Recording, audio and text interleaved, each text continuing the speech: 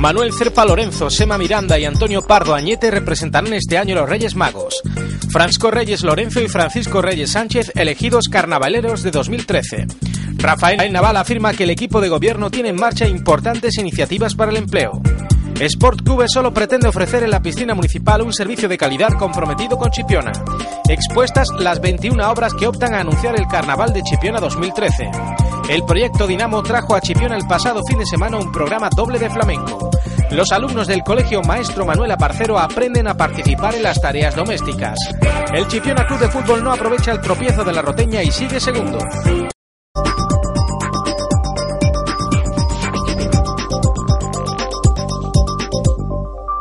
Ya se conoce el nombre de quiénes serán los representantes de sus majestades, los Reyes Magos de Oriente en Chipiona.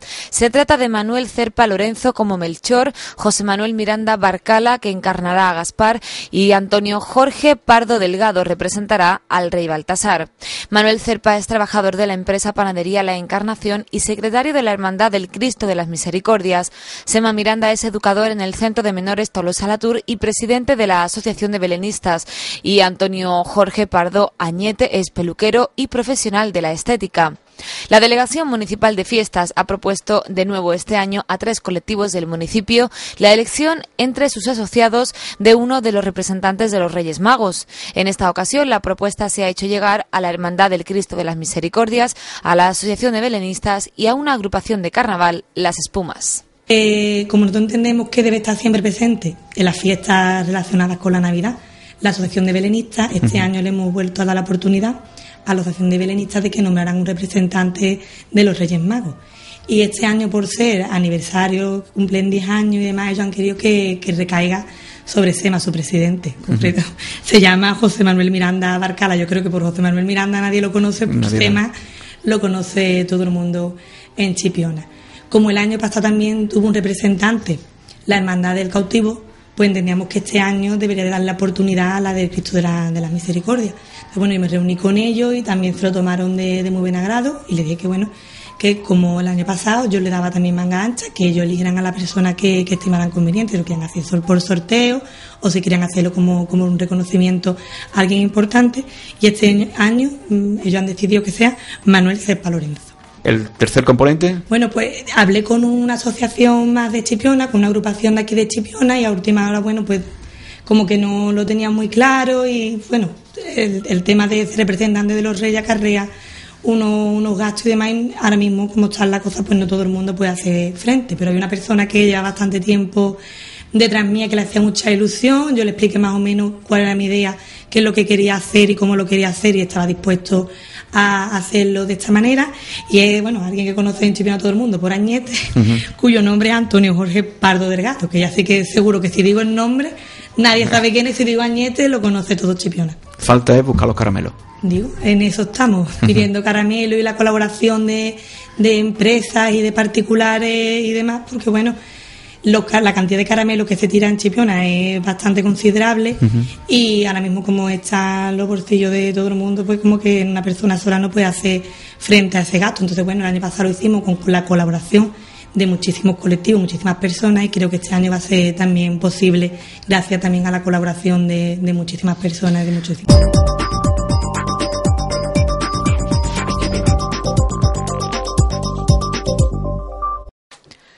La Delegación Municipal de Fiestas ha dado a conocer la elección del carnavalero de 2013, que este año es doble.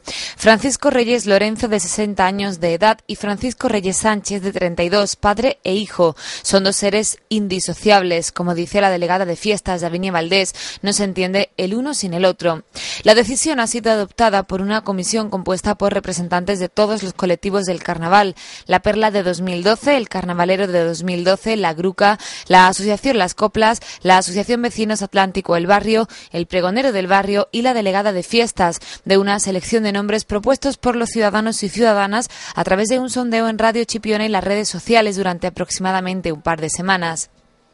Curro y Quisco, elegidos entre una veintena de candidatos con un absoluto consenso, son dos personajes sin los cuales no se podría explicar la historia de la cabalgata, donde participan habitualmente con una visión sarcástica de la sociedad que vivimos, no exenta de cierto humor negro. También son, en cierto modo, la representación de la Asociación de Niños con Discapacidad, donde Francisco Reyes Lorenzo ejerce como presidente. Este año tenemos dos carnavaleros, porque uno no se entiende sin el otro, ni el otro se entiende sin, el uno. Son padre e hijo, eh, Quisco y Curro, y bueno, yo creo que en Chipiona más que solamente lo, lo conocemos y mucho más en el ambiente del carnaval. Cuando nos reunimos el viernes, porque la decisión la tomamos el viernes, en el castillo, ¿no? como ya anuncié en la última entrevista que estuve aquí, pues desde la delegación de fiesta invitamos a una serie de personas que eran representantes de, distintos colectivos del carnaval.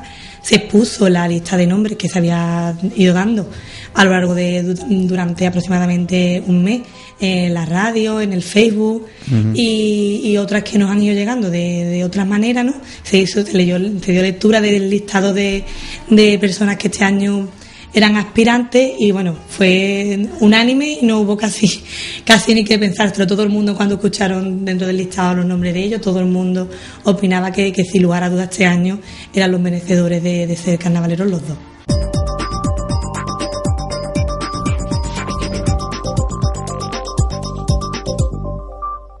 El portavoz del equipo de gobierno y concejal de urbanismo, Rafael Naval, ha informado en relación a la preocupación existente en la población por las cifras del paro y la situación insostenible por la que pasan muchas familias que han sido puesta en marcha una serie de actuaciones enfocadas a crear empleo y, consiguientemente, a paliar esta situación de necesidad. Naval Jurado ha afirmado que la defensa de las empresas de la localidad es una de las vías para la creación de puestos de trabajo. En esa línea se encuentra la reunión mantenida recientemente con los constructores y promotores de Chipiona para que en el canon de mejora, del que aún restan inversiones por valor de 3 millones, Aqualia facilite a las empresas chipioneras copia de los pliegos de condiciones y proyectos con la finalidad de que éstas puedan presupuestar y acceder a su ejecución. En segundo lugar, y como norma general, en todas las obras municipales que se han ejecutado o están en proyecto de ejecución, el 85% de invitaciones a las licitaciones han sido enviadas a empresas locales.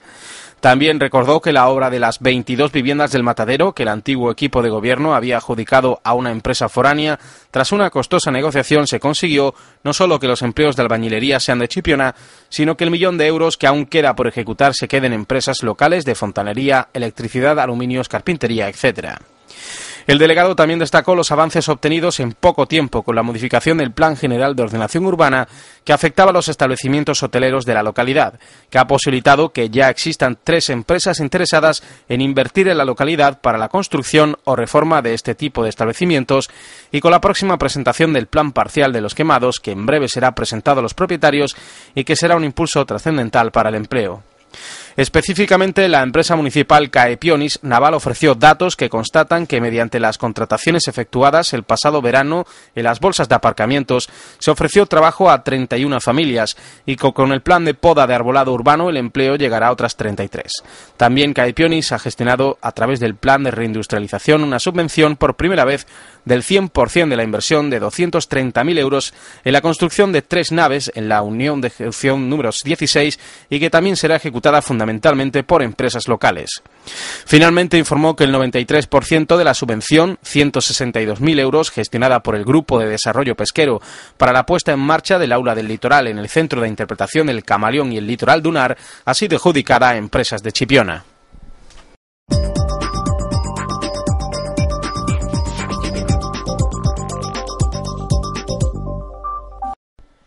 La empresa Sport Cube ha respondido al Partido Socialista que solo pretende ofrecer un servicio de calidad en la piscina municipal comprometido con Chipiona y que no mantiene vinculación política con partido alguno. La empresa afirma tener domicilio fiscal en Chipiona, 12 años de experiencia en la gestión de actividades acuáticas y que está integrada por un profesor de educación física, dos técnicos superiores de actividades físicas y deportivas, un entrenador nacional de natación, un entrenador auxiliar y un profesor de salvamento y socorrismo que además son monitores de natación y socorristas acuáticos y organiza la travesía nado Chipiona-Sarmedina. Cube explica que el Ayuntamiento de Chipiona ha contratado, siguiendo el procedimiento administrativo correspondiente, sus servicios para la docencia en las actividades acuáticas y socorrismo en la piscina municipal, al no existir en la plantilla municipal socorristas monitores acuáticos suficientes. La empresa también ha querido aclarar que el curso de socorrismo acuático, monitor de actividades acuáticas y uso del desfibrilador realizado ha sido una acción formativa ofrecida por la Delegación Municipal de Deportes mediante la Federación Andaluza de Salvamento y Socorrismo a través de un convenio con SportCube, que cuenta con la autorización y reúne los requisitos para impartir este tipo de información. La superación de este curso, recuerda la empresa, no implicaba que posteriormente los participantes trabajaran en la piscina municipal ni en ningún momento SportCube ha creado falsas expectativas de ello.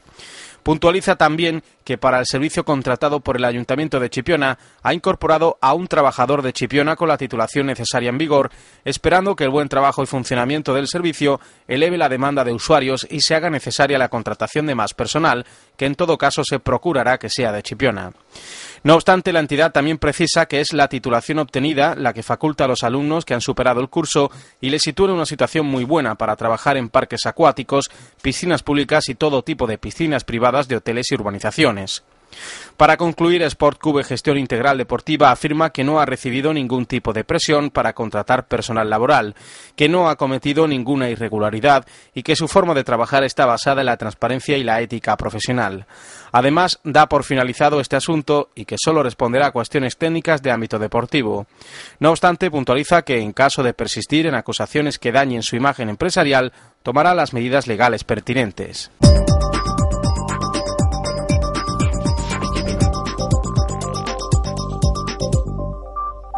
Las 21 obras de diferentes técnicas y estilos que optan a ser el cartel anunciador del Carnaval 2013 están expuestas en el Castillo de Chipiona hasta el próximo domingo 25 de noviembre. La muestra ha sido inaugurada la mañana de hoy por la delegada de fiestas, Davinia Valdés, que se ha congratulado del significativo aumento de participantes, que ha pasado de 15 el año pasado a 21 en esta ocasión. El próximo viernes 23 de noviembre, un jurado popular decidirá el cartel que represente al Carnaval de Chipiona 2012, declarado de interés turístico de Andalucía. La exposición podrá visitarse en el castillo todos los días entre las 10 y las 2 de la tarde.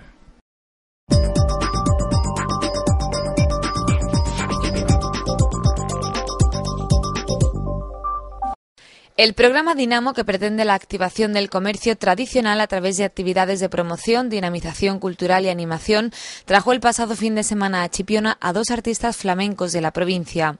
Un programa doble que se inició el viernes, día 16 de noviembre, con motivo de la celebración del Día del Flamenco en la Comunidad Autónoma de Andalucía, en la Peña Flamenca José Mercé, con la actuación de Jesús Méndez. Y el sábado, día 17, el mismo espacio acogió la actuación de David Palomar. Ambos espectáculos comenzaron a las nueve y media de la noche. Entre los muchos asistentes que abarrotaron la sala se encontraban la concejala de Cultura de Chipiona, Davinia Valdés, y los componentes de la Junta Directiva de la Peña. Para la Delegación de Cultura que dirige Davinia Valdés, el jerezano Jesús Méndez y el gaditano David Palomar se presentan como una atractiva oferta a la ahora activa y rejuvenecida afición al flamenco de la localidad.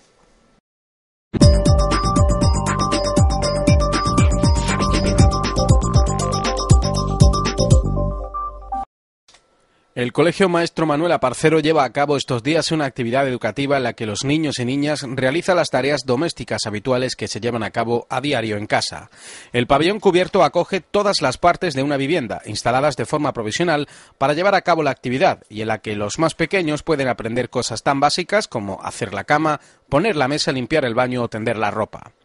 El objetivo de esta actividad no es otro que concienciar a los niños y niñas de la importancia de que todos colaboremos en las tareas diarias del hogar, de que seamos capaces de valernos por nosotros mismos en cosas básicas y de repartir el trabajo doméstico de forma equitativa. Eh, estamos haciendo tender la ropa. Tendiendo la ropa, ¿no? ¿Sabes tender la ropa? Sí. ¿Lo sueles hacer en casa? Sí. ¿Ayudas a mamá entonces? no? Sí. A ver, vamos a tender el paño, a ver cómo lo hacemos. Eh, pues primero lo doblamos. ¡Ah! Vamos a tenderlo.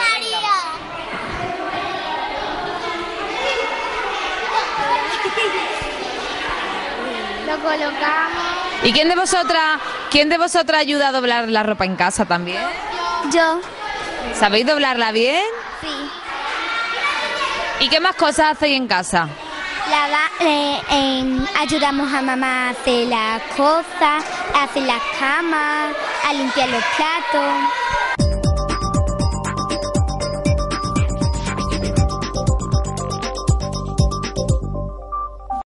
El Chipiona no aprovechó el tropiezo del líder, la Unión Deportiva Roteña, que empató en Alcalá del Valle y perdió la oportunidad de situarse en cabeza por diferencia de goles.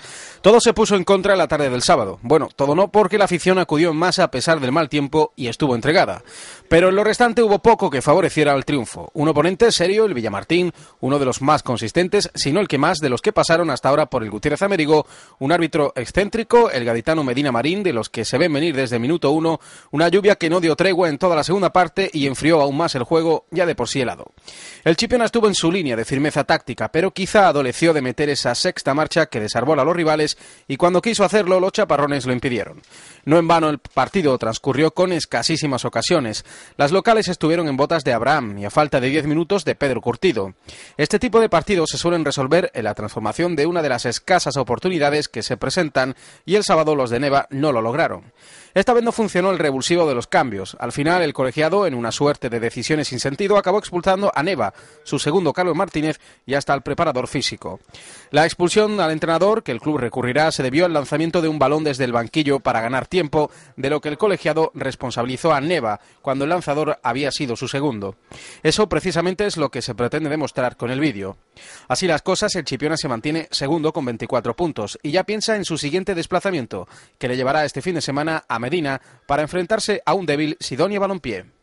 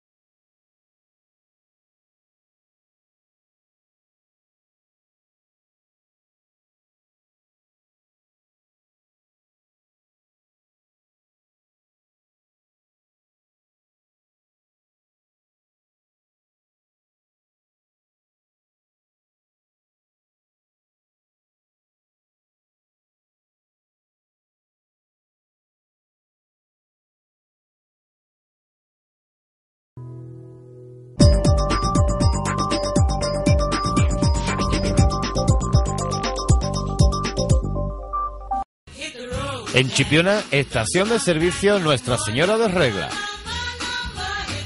Sexa Butano, túnel de lavado con agua motizada, cinco voces de lavado a presión, sistema de limpieza de mosquitos y lavallantas, desengrasante especial. Primero lavado, segundo aclarado y tercero abrillantado con agua motizada. En Chipiona, en la avenida de la Diputación sin número, estación de servicio Nuestra Señora de Regla. En Jerez, Monte Alto, carretera nacional cuarta, kilómetro 631,8 y también en Guadalcacín.